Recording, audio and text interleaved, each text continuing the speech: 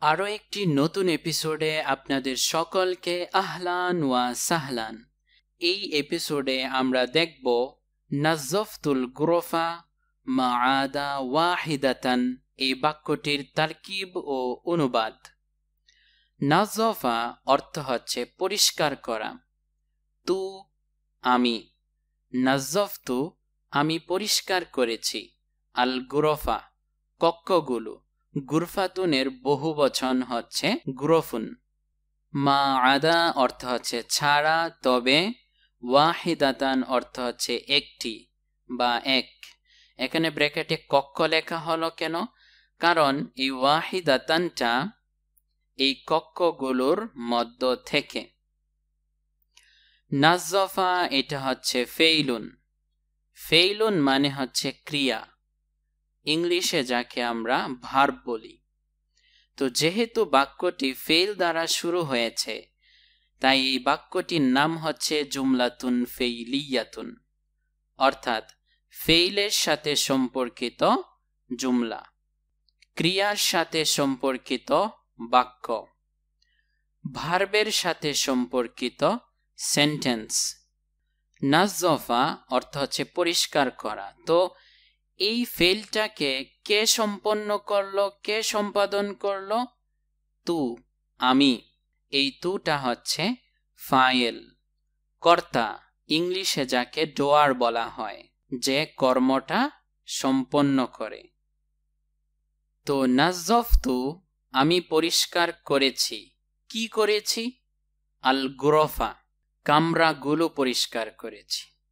সাধারণত কি অথবা কাকে দিয়ে প্রশ্ন করলে যেটা উত্তরে আসে সেটাই হচ্ছে মাফুলুন বিহি। তো আমি যদি প্রশ্ন করি, আমি কি পরিষ্কার করেছি, তাহলে উত্তরে কি আসে? আল গুরফ কক্ষগুলো তাই তো? তাই এটা হচ্ছে মাফুলুন বিহি। এইটার মাধ্যমে কর্মটা সম্পাদিত হয়েছে। এর জন্য এটা হচ্ছে আরবিতে মাফুলুন বিহি বাংলা এটাকে বলা হয় কর্মকারক। ইংরেজিতে বলা হয় অবজেক্ট তো এতটুকের অর্থ কি দাঁড়াচ্ছে?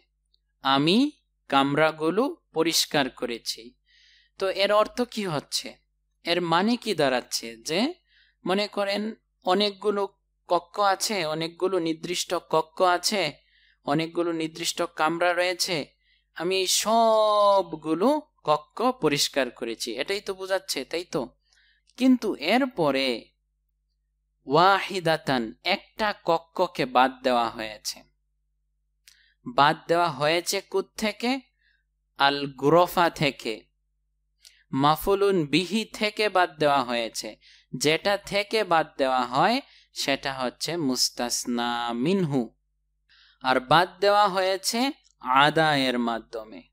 মা আদা, এই আদা হচ্ছে আদাতুল ইস্তিসনা। কিন্তু আবার এই আদাতুল ইস্তিসনার সামনে মাও যুক্ত হয়। এর জন্য এখানে মা যুক্ত হয়েছে। মা আদা, এটা হচ্ছে আদাতুল ইস্তিসনা। এই আদাতুল ইস্তিসনার মাধ্যমে বাদ দেওয়া হয়েছে। কাকে বাদ দেওয়া হয়েছে? ওয়াহিদাতানকে বাদ দেওয়া হয়েছে। এর জন্য এই ওয়াহিদাতানটা হচ্ছে মুস্তাসনা। যাকে বাদ দেওয়া হয়, তাকে মুস্তাসনা বলা হয়।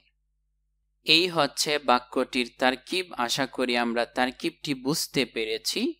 এবার যদি আমরা ইয়ারবের কথায় আসি, নাজফা এটা হচ্ছে ফেল ফেল হচ্ছে আমেল।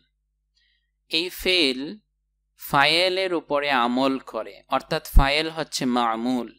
এই ফেল সকল মফউলের উপরে আমল করে, অর্থাৎ সকল মফউলগুলো হচ্ছে মামুল।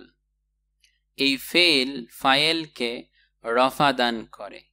এই ফায়েল তু এখন মারফু অবস্থায় রয়েছে। এই ফেল মাফুলগুলোকে নসব দান করে, এর জন্য এখানে নসব হয়েছে। নসব গ্রহণ করে মাংসুব হয়েছে। আর মা আদা, এটা তো এখন অব্যয়, হরফ। এইটার এরব নিয়ে কোনো আলোচনা নেই। তারপরে রয়েছে ওয়াহিদাতান। ওয়াহিদাতানের মধ্যে জবর হয়েছে কেন?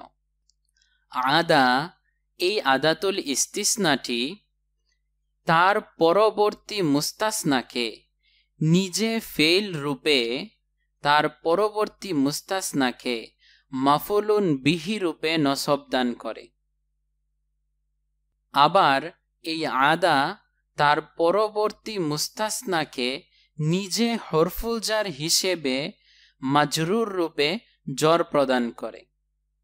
কিন্তু যখন এই আদা এর পূর্বে মা আসে, তখন আর হরফুলজার রূপে জ্বর প্রদান করতে পারে না। শুধুমাত্র ফেল হিসেবেই শুধুমাত্র ফেল হিসেবেই তার পরবর্তী মুস্তাসনাকে মফুলুন বিহি রূপে নসব দান করে। এর জন্য এখানে নসব হয়েছে ওয়াহিদা তান হয়েছে। আশা করি আমরা এ আরবের বিষয়টাও বুঝতে পেরেছি। এবার যদি আমরা অনুবাদের দিকে আসি নাজফা অর্থ হচ্ছে পরিষ্কার করেছি, তু হচ্ছে আমি আল গুরফা কক্ষগুলো মা আদা ছাড়া তবে ব্যতীত ওয়াহিদাতান একটি কক্ষ। এবার বুঝতে পারছেন তো এখানে কক্ষ কেন লেখা আছে? কারণ এই সবগুলো কক্ষ থেকে এই একটাকে বাদ দেওয়া হয়েছে।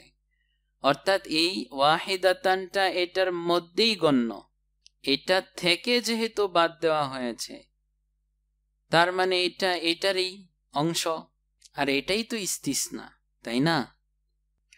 তো আমরা যদি শব্দে শব্দে অর্থ তুলি, তাহলে অর্থ হয়, আমি একটি কক্ষ ছাড়া সবগুলো কক্ষ পরিষ্কার করেছি। আমি সবগুলো কক্ষ পরিষ্কার করেছি, তবে একটি মাত্র কক্ষ পরিষ্কার করিনি। আমি শুধুমাত্র একটি কক্ষই পরিষ্কার করিনি।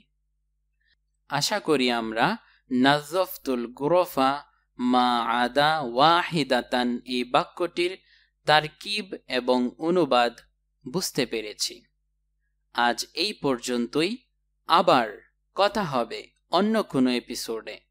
সেই সময়টির অপেক্ষাতেই রইলাম।